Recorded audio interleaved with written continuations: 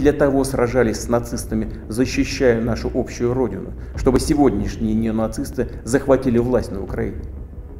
Вы давали присягу на верность украинскому народу, а не антинародной хунте, которая грабит Украину и издевается над этим самым народом. Не исполняйте ее преступных приказов. Призываю вас немедленно сложить оружие и идти домой. Угрозы для нашей страны, для нашего народа должны знать, что ответ России будет незамедлительным и приведет вас к таким последствиям, с которыми вы в своей истории еще никогда не сталкивались.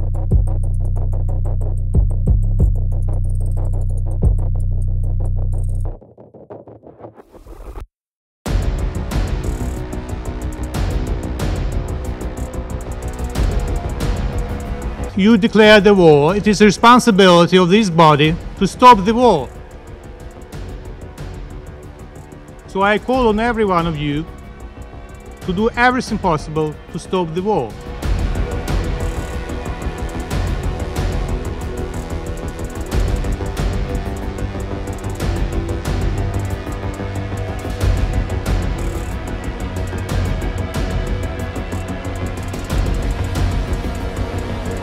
this conflict must stop now. What is clear for me is that this war doesn't make any sense.